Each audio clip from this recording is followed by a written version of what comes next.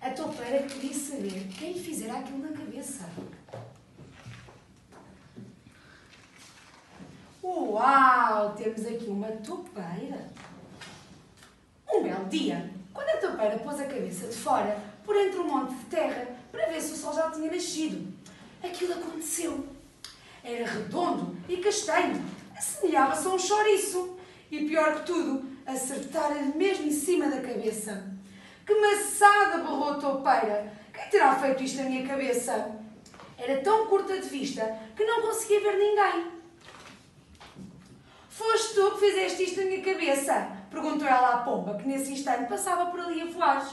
Eu? Não. Porquê? Aliás, eu faço assim, respondeu.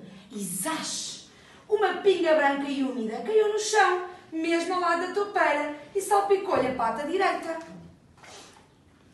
Olha lá, foste tu que me fizeste isto na minha cabeça? Perguntou ela ao cavalo, que pastava no prato. Eu? Eu não. Porquê? Aliás, eu faço assim, respondeu. E plof, plof, cinco bolas grandes e gordas caíram pesadas no chão. Foste tu que fizeste isto na minha... Esteve quase a perguntar de novo, mas ao aproximar-se viu que eram apenas duas moscas pretas e gordas. Estavam a comer. Hum, finalmente alguém que me pode ajudar, pensou a toupeira. Sabem quem me fez isto na minha cabeça? Perguntou ansiosa. Não te mexas, zumbiram as duas moscas. E pouco depois disseram: Não há dúvida, foi um cão. Finalmente a toupeira sabia quem lhe tinha feito aquilo na cabeça. O Bernardo, o cão do homem do talho.